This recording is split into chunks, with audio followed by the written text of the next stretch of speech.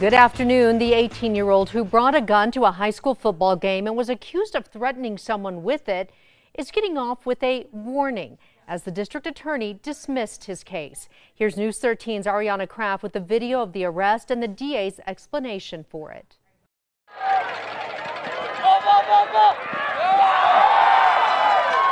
The September 2022 Santa Fe High School football game against Lovington went from bad to worse as trouble unfolded in the parking lot. Show out the young man that was threatened with A shaken up Santa Fe High student told a security guard that a group of guys were threatening him and one of them had a gun. Guys were like walking up to me, they like just started like wavy stuff in the air, so I was just like, come on, I just started running. The victim explained to police officers that in the past, he got caught up in a drive-by shooting with the wrong group of people. I was a driver, but someone hopped into my car, and then they just got that on camera, so I got in trouble with it. I talked to the cops.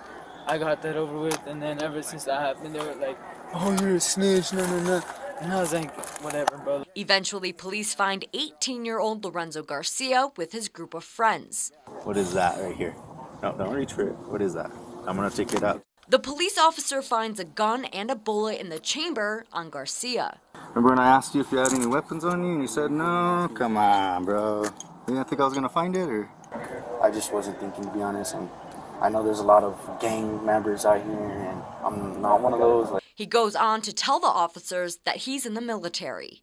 I'm in the military. I actually just joined, and I have future Army. Plans. Uh, no, or Air Force. Air Force. I have my uh, ID in my back pocket. So did you just get in, or you? Get, I just got in. Yeah. just got in? Yeah, I haven't Sure. been to basic No? yet. I'm supposed to be going actually within two weeks. Garcia was detained and put in the back of a police car while other officers tried to keep things calm in the parking lot. Firearm was recovered, and they're on. He's on his way to jail now. So Is he one of our students? No, he's not. He's a former student. He just he, he graduated. But Garcia lucked out. His charge for unlawfully carrying a deadly weapon on school grounds was dropped by the Santa Fe district attorney. According to the DA's office, since Garcia showed proof that he was accepted and entered into the Air Force Reserves, the DA acknowledged his effort to improve his life and, in order to encourage rehabilitation, agreed to dismiss his case without prejudice.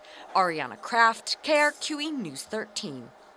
According to the Santa Fe District Attorney's Office, if Lorenzo Garcia is discharged from the Air Force, his felony charge can be reinstated.